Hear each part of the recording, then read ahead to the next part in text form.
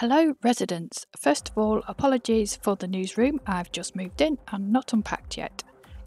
First news flash of 2022. Philip Rosedale, the founder of Second Life, is back working in the new role as Second Life Strategic Advisor. He is recognised as a metaverse pioneer who helped form the concepts of virtual economies and community.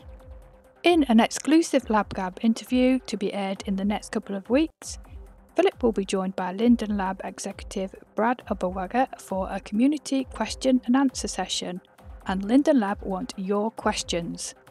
If you have a question for Philip or Brad, please submit it on this form by the 16th of January, midnight Pacific time.